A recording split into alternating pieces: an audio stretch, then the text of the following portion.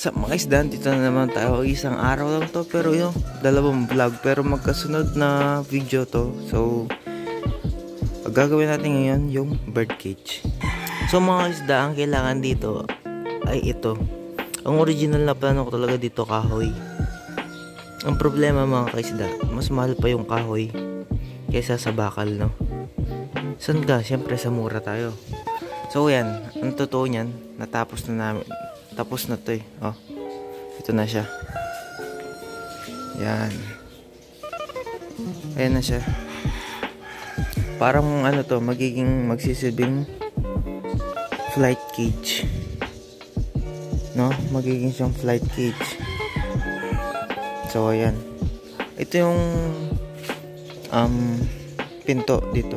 Dito yung pinto. Naka, ano lang yan. So, ayan. Ang haba ng ano nila, no? Colony yung gagawin ko dyan, no? Bibigyan lang. Hindi naman ako bibili ng ibon. Bibigyan lang ako. No? Bibigyan lang ako ng ibon. Ay, bulang ling. Bibigyan ako ng ibon. So, ayan. Dito ko lalagay napasobra sa lagay no pero ito yung dimension ng buong ano yun dun simula dun sa bibi. Yan ganyan hanggang dyan siya. Yan. Hanggang dun na sa PVC yan. Ganun siya.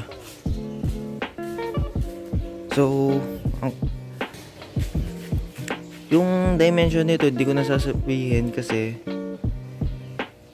itong dimension na to ay nakadesign para sa akin no? Para dun sa pader na yun. Dun sa pader na yun. So ito na siya natapos na. Ang una ginawa namin tapos tinuloy ng tatay ko.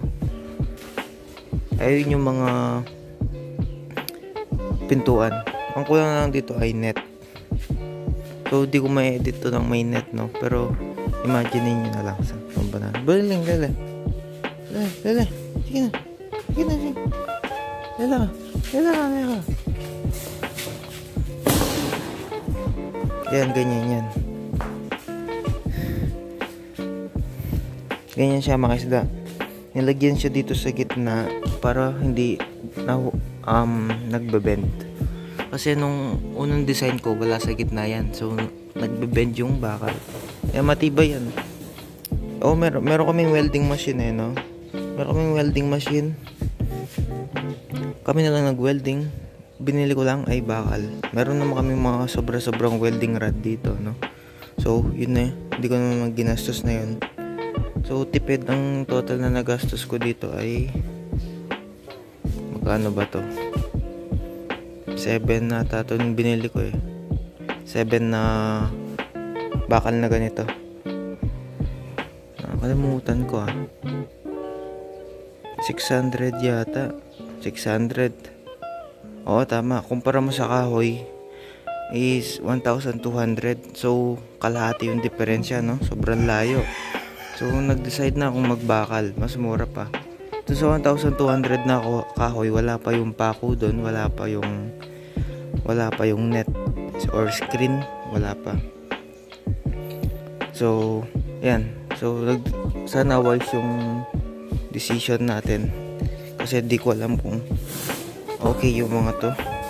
Okay yung bakal sa ibon. Pero meron naman ako nakikita mga bakal na cage eh dati rin naman kasi nag-iibon yung tatay ko kaya alam naman niya siguro yan.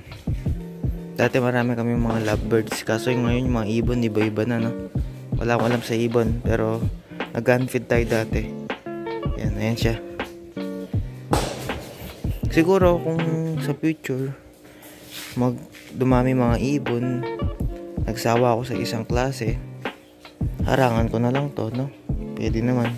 Pipinturan ko na lang yan to para di mga lawang pintura na lang. Tapos okay na. So ayan ganyan lang siya.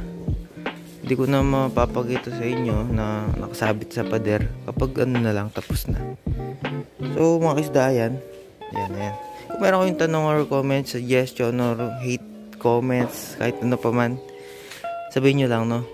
Um, sa Warren TV, sa YouTube na Warren TV, wag sa personal FB ko, hindi nyo rin ako man-chat doon, no? So, ayan. Um, peace.